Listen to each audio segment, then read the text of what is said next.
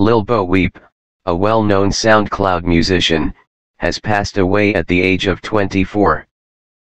Lil Bo Weep was a popular musical artist in the lo-fi, emo, and hip-hop genre. She was extremely popular on SoundCloud and YouTube. Weep was better known for songs like I Wrote This Song For You, Sorry, Feel It, Codependency, Cannot Fight Away My Hell, and many more.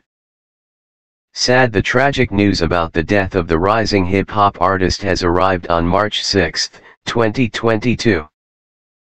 Lil Bo Weep's death cause is yet to be published on the news. However, she has been confirmed dead on March 6, 2022. Many of her followers have expressed their profound sympathies to her family members in the wake of the tragic news. One of her fans has written, Rip Lil Bo Weep I can't believe this is true. Honored to capture this beautiful picture in 2020. Lil Bo Weep has died at the age of 24 years. She was born in 1998 and her birthday was on January 1st. According to astrology, she belongs to the Capricorn.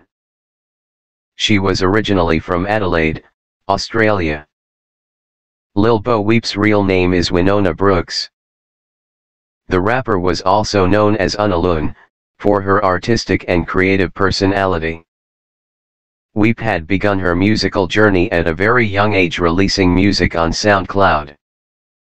Back then, she was known as a moniker. She launched two LPS on Spotify and Apple Music, Solos and Solos. Additionally Weep also has launched an EP, Healing Unaloon below her new nickname Unaloon. Furthermore, her YouTube channel has 122,000 subscribers as of today. Singer Lil Bo Weep had a huge fan base on Instagram and TikTok. However, her original account has been removed from the platform.